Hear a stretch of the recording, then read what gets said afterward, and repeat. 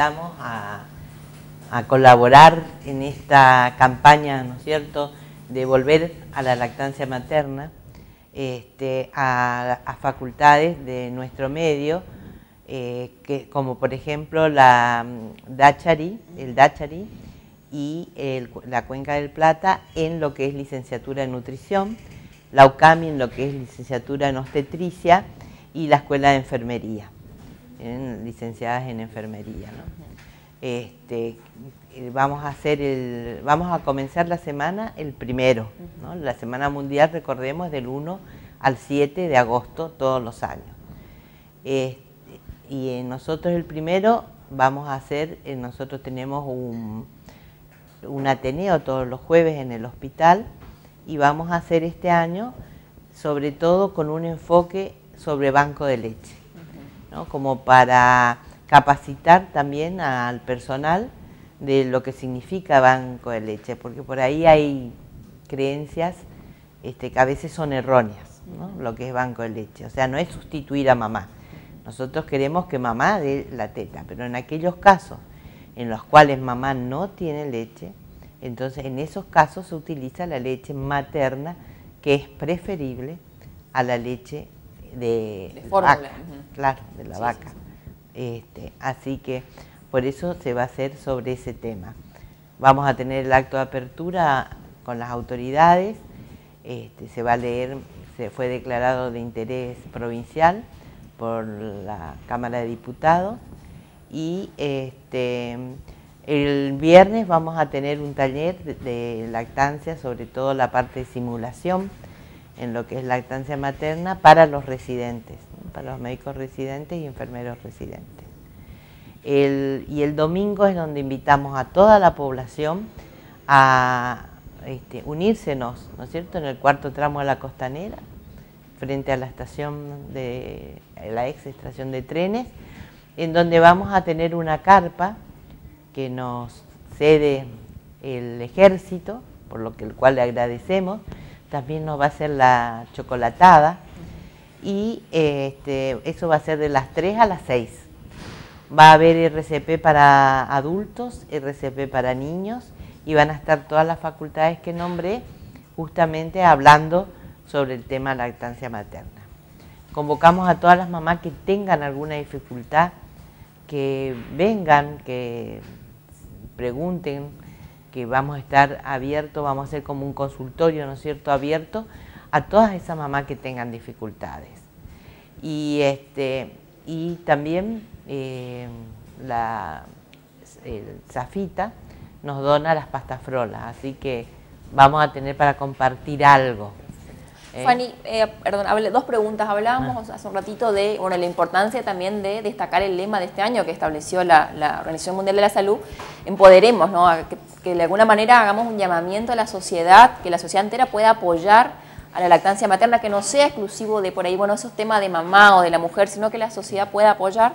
Y también la importancia de que esa mamá o futura mamá esté informada, ¿no? Muchas veces pasa también por, una, por un sistema de desinformación el, el tema de la lactancia. Exacto sobre todo porque a veces nosotros los agentes de salud creemos que diciéndole a la mamá, ¿tenés algún problema con lactancia? ¿Tuviste algún problema de lactancia? La mamá te dice que no, pero por muchas razones. Una, porque a veces no sabe qué es lactancia, ¿no es cierto? Yo creo que es más fácil decirle, mamá, ¿tuviste algún problema con la teta? ¿Pudiste dar la teta? Eso por un lado. Y por otro, porque no nos olvidemos que es un órgano sexual y muchas veces se tiene, este, digamos, mucho pudor. Entonces este, hay que tratarla con, mucho cuidado, ¿no? Y es una de las fallas que creo que tenemos nosotros. Por eso en el hospital hay un consultorio de lactancia, a los cuales todos los médicos que trabajan en el hospital deben mandar cuando viene la embarazada, los médicos y las licenciadas en obstetricia, porque la primera consulta, consulta la hacen las licenciadas en obstetricia, tienen que mandarla. ¿eh? Es una, dentro de nuestro, nuestra política de lactancia está ese punto, ¿no? que tienen que mandar a, la mamá a hacer la consulta. Aunque no tengan, tienen que ir, aunque no hayan tenido dificultad. Las primerizas obviamente todas, porque se trata de justamente de poder este, sacar las dudas. por ahí tuvieron grietas en el pezón en el embarazo anterior y abandonaron la lactancia. Entonces saber qué tienen que hacer, cómo evitarla. ¿No es cierto? Bien, voy a, Fabiana. Fabiana, bueno, hablábamos ya en entrevistas anteriores que, que viniste a Camisiones Online eh, de la importancia de bueno, generar, siempre obviamente vinculando con la lactancia, la importancia de vincular el, vínculo apego seguro, en realidad de fortalecer a través de esa lactancia, a través de esa día, la mamá-bebé. Bueno, ¿qué no podés agregar sobre este tema? Bueno, nosotros desde la atención temprana tomamos a la lactancia materna como un puente que es el que nos ayuda y favorece a, la conformación del vínculo apego seguro. ¿Por qué? Porque ahí, digamos, están puestas todas las, funciones que debe ejercer la mamá para la conformación de este vínculo de apego seguro, que es el sostén, por sobre todas las cosas segura, porque la seguridad del bebé comienza en la espalda, ¿no? La comunicación que se establece en ese sostén, que la primera comunicación es el diálogo tónico, es decir, cuando este, este bebé está siendo sostenido correctamente, eh, puede establecer un diálogo desde lo corporal con su mamá porque puede acomodarse al cuerpo de la mamá. Y el bebé constantemente lo está comunicando esto desde su cuerpo y cuando no lo está pudiendo hacer, o sea, cuando no está pudiendo acomodarse también lo comunica desde su cuerpo y eso es importante que las mamás sepan para ir corrigiendo y que este bebé se sienta seguro. Ese es el, primer punto ¿no? de, la, de, de la función materna que es el sostén. El segundo es el contacto visual, que justamente la lactancia provee esa distancia justa de los 34 centímetros en, esa mirada, en ese, yo le digo a las mamás, es, como el oxígeno que vos le das a tu bebé, ese contacto visual. Y el tercero que tiene que ver con eh, la palabra, porque la mamá no puede evitar no hablar con su bebé en el momento ese de encuentro que tiene en la lactancia.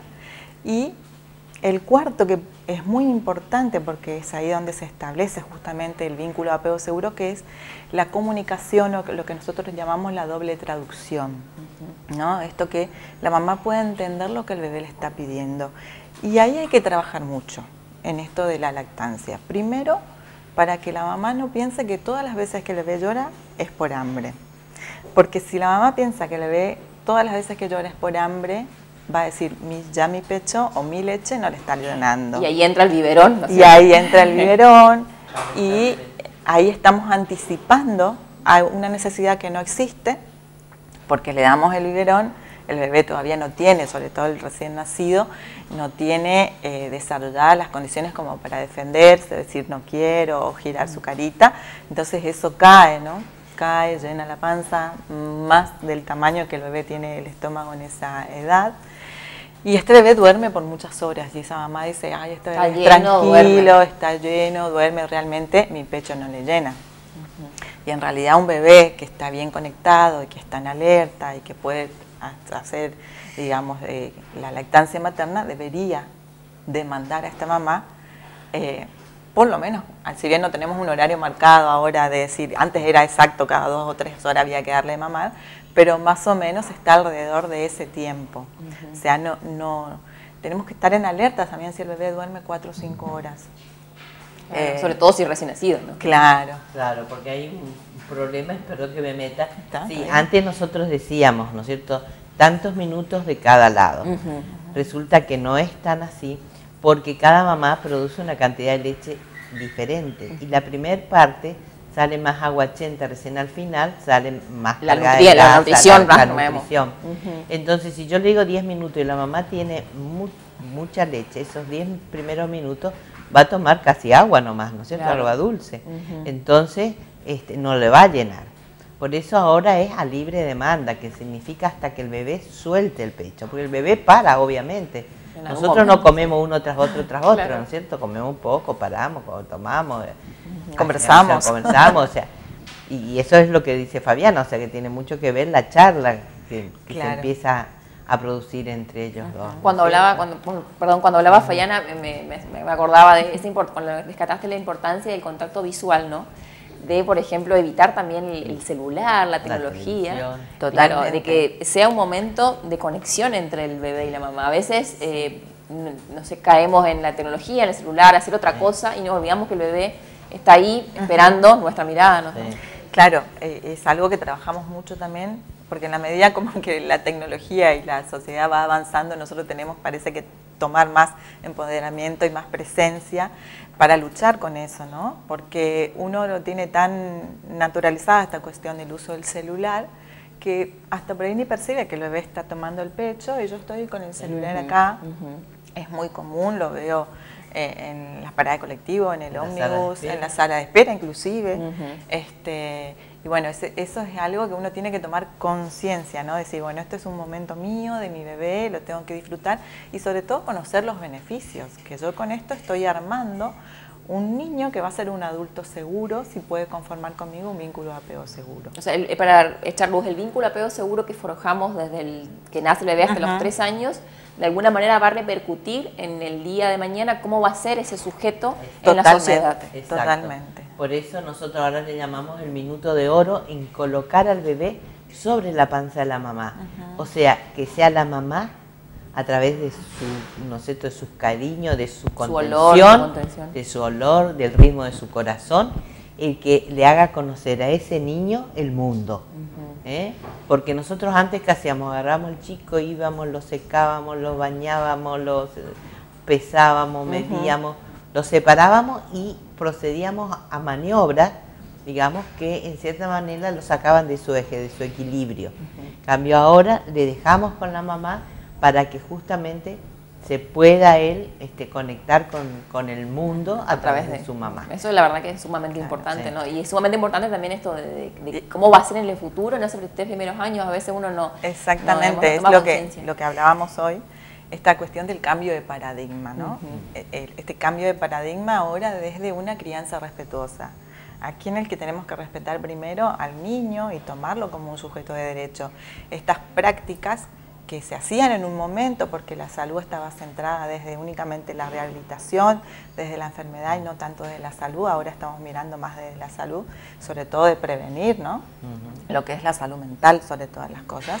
Y bueno, ahora ya este minuto de oro, como dijo Fanny, forma parte de esta crianza respetuosa, de este nuevo paradigma que, está también trayendo, como todo paradigma que, ingresa, trae revoluciones. Claro, y mucha gente no, si vos no, estás al día, no tratás de, estudiar día a día la, lo que va cambiando, este, quedó en el pasado, ¿no es cierto? Entonces son, son luchas porque obviamente fue mi médico de mi primer hijo y cómo eso ahora y ¿no es cierto? Son paradigmas que hay que ir rompiendo y, sí, sí, sí, hay que son culturas que hay que ir cambiando, ¿no es cierto? Porque la verdad que a lo largo se han aparecido todas estas nuevas este, ¿no es cierto? enfermedades justamente de los niños que este, hace que veamos dónde está la falla, así como la Organización Mundial de la Salud vio el tema de que la, falta de lactancia materna y la utilización de leche de vaca llevó a aumento a las epidemias mundiales que hubo de obesidad, diabetes, hipertensión, a ver cuál fue el motivo y darse cuenta que fue eso. Y ahora, desde hace muchos años atrás, ¿no es cierto?, a fines de los 70, principios de los 80, ya la Organización Mundial de la Salud empezó a hacer toda esta campaña para este, volver, a, las bases, ¿no? Las bases. Y en relación a, esto de la Organización Mundial de la Salud, también lo que empezó a ver en, cuestión vincular y, su efecto en, la salud mental del adulto, eh, la incidencia de los estados depresivos en, los adultos. Y empezaron a hacer investigaciones y se dieron cuenta que eso está relacionado con la primera infancia del niño. Entonces la Organización Mundial de la Salud insta a que se comience a trabajar con los cuidadores, ¿no? Eh, o sea, no solamente con la mamá y el papá, sino que si vaya a una sala maternal, con el entorno, si vaya a una sala maternal, con una institución, con la cuidadora, etcétera, para que el niño tenga esa continuidad. O sea, no siempre va a estar la mamá presente para la conformación del vínculo de apego, va a estar el papá, va a estar la abuela, pero si el niño sabe que hay una continuidad en el cuidado, que siempre el que lo va a levantar levanta siempre desde la derecha, que va a haber un contacto visual que no va a exceder 34 centímetros, que me van a contar todo lo que me está pasando para que yo disminuya mi nivel de alerta y por ende mi nivel de estrés, ese niño va conformando un vínculo de apego seguro con su entorno. Con su entorno, perfecto. Fanny, y la última, hablábamos de esta importancia de hacer un llamamiento a la sociedad.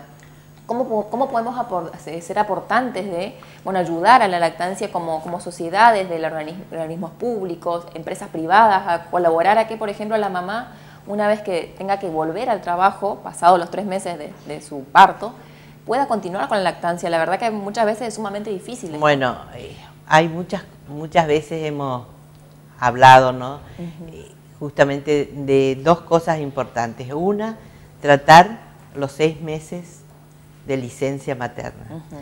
Porque son seis meses de lactancia materna exclusiva. Exclusiva, claro. Entonces, que esos seis meses mamá pueda estar.